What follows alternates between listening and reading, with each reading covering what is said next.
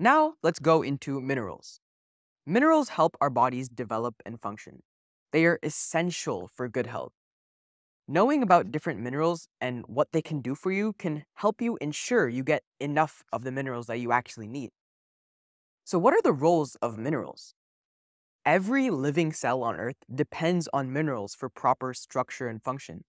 They keep your brain, muscles, heart, and bones working properly. Minerals also help make enzymes and hormones, which are needed to keep the chemical reactions going in your body and to send messages between different parts of the body. Remember from the previous slides, what are the different types of minerals?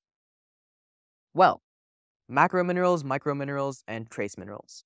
You need a larger amount of macrominerals, hint macro, and only smaller amounts of microminerals, hint micro, and trace minerals, you only need a trace amount of it. So, what are some of the minerals you might have heard of? As you can see from these sources, if you eat a balanced diet with everything in moderation, it's really easy to get your mineral needs.